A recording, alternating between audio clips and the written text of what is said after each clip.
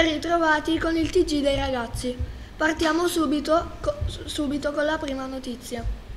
Quest'anno al Teatro Kreberg ci saranno spettacoli di danze e concerti, ma soprattutto tanti musical. I titoli in programma sono Dirty Dancing, We Will You Rock, You, Priscilla la regina nel deserto, Peter Pan Forever e il campione d'incasso dello scorso anno Mamma Mia. Guardiamo l'intervista al direttore artistico del teatro Paolo Scotti. Con novità come Priscilla che ritorna in scena dopo alcuni anni con una grande compagnia, c'è il ritorno di Mamma Mia che è stato lo, il successo forse di pubblico più importante della stagione scorsa, insomma ce n'è di, su tutti i fronti. Il famoso studio Bozzetto, che fa cartoni animati, ha realizzato 5 video educativi per spiegare come comportarsi all'entrata e all'uscita di scuola. Questi video sono stati voluti dal comune di Bergamo e dall'azienda di trasporto pubblico ATB. Il messaggio è quello di lasciare l'auto a casa e andare a scuola a piedi o in autobus. Ecco l'anteprima del video.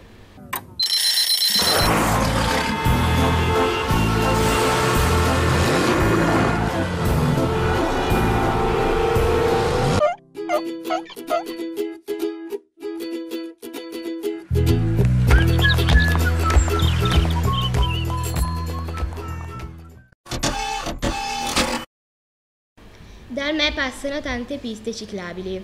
Presto verrà inaugurata quella che porta a Zogna. Ma ce n'è già una che porta verso il Parco dei Colli e un'altra sul fiume Brembo. Dal me in bicicletta si arriva a Cranes e ora anche fino a Ponte San Pietro. Per i comuni della Valle Brembana la pista ciclabile è un modo per valorizzare il vecchio tracciato della ferrovia. Guardiamo l'intervista al sindaco di Armè. Almè è un po' un punto di snodo per tante ciclabili e attraverso questa pista che è stata appena inaugurata si può non solo puntare sulla Val Brembana ma ci si può connettere, dicevo, con nuovi percorsi che sono sostanzialmente presenti lungo il fiume Brembo. La polizia utilizza un nuovo software chiamato SARI che permette di riconoscere i criminali. È utile perché mette a confronto le foto segnaletiche a disposizione della polizia con i, vo- con i volti ripresi dalle immagini di videosorveglianza.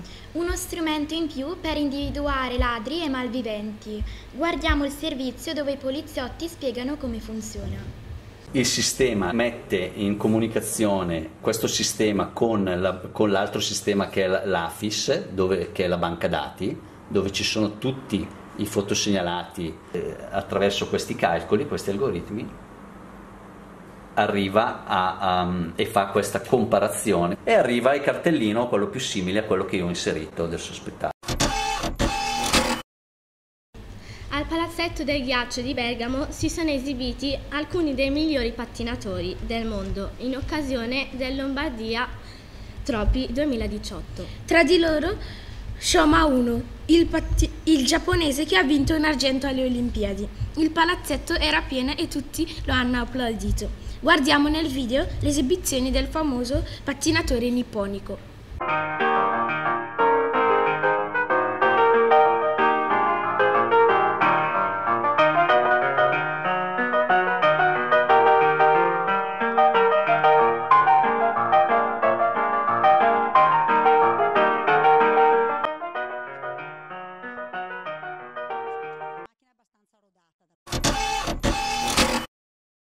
L'equitazione è uno sport di cui si parla poco, ma che ha tanti appassionati anche nella nostra provincia. A Crotone si è tenuto il campionato italiano di endurance, dove i cavalli percorrono lunghe distanze di 30, 60, 90 km. Il giovane campione bergamasco Luca Zappettini ci spiega cos'è l'endurance e quali risultati sportivi ha raggiunto. Guardiamo il servizio. L'endurance è in, in poche parole una, una, maratona a cavallo. Ho avuto dei risultati under 21, una medaglia d'argento agli europei di squadre, un sesto individuale ho partecipato a, sono stato quattro volte in nazionale e nel futuro si spera di, di migliorare. I bambini del corso scolastico di Andara, San Rocco e San Martino hanno cantato per il Presidente della Repubblica in diretta sulla televisione di Stato. I 45 giovani studenti bergamaschi sono stati protagonisti della trasmissione Tutti a scuola, condotta da Flavio Insinna e Claudia Gerini, accompagnati dall'orchestra RAI. Guardiamo un pezzetto della loro esibizione.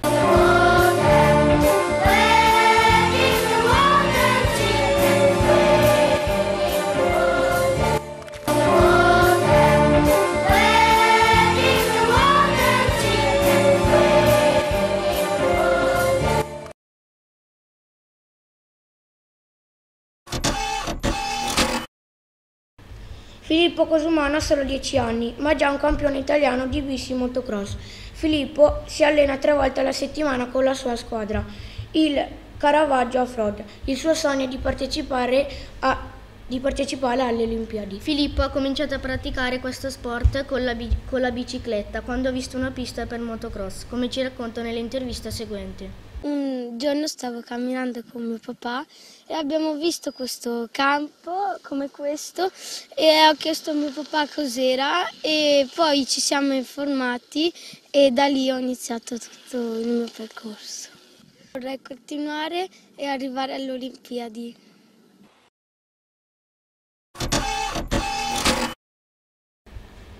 Entro fine anno il Palazzo Nuovo di Brignano sarà venduto a un prezzo di circa 35 milioni di euro. Il palazzo è chiamato nuovo per distinguerlo dal Palazzo Vecchio, che è sede del municipio. Il compratore è un ricco straniero che si è innamorato dell'antico palazzo e vuole trasformarlo in un hotel di lusso. Guardiamo ora le belle immagini delle immagini del bel palazzo costruito intorno al 1600.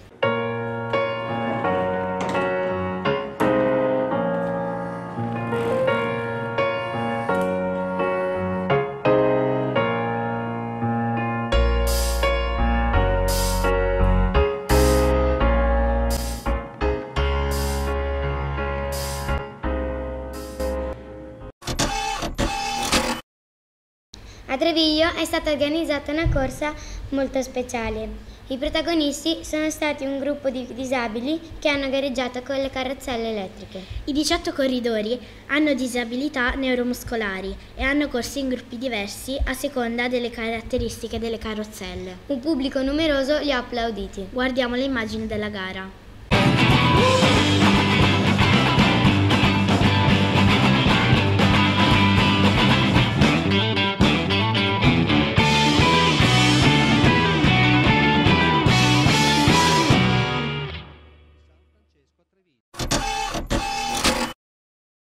È stata inaugurata una nuova pista ciclabile che collega la fiera di Via Lunga al confine con Seriate, a Viale Europa, passando da Boccaleone. La pista è lunga 2,5 km ed è costata 500.000 euro. Il tragitto che adesso si può fare a piedi o in, o in bicicletta è più diretto di quello che si fa in auto. Guardiamo le immagini.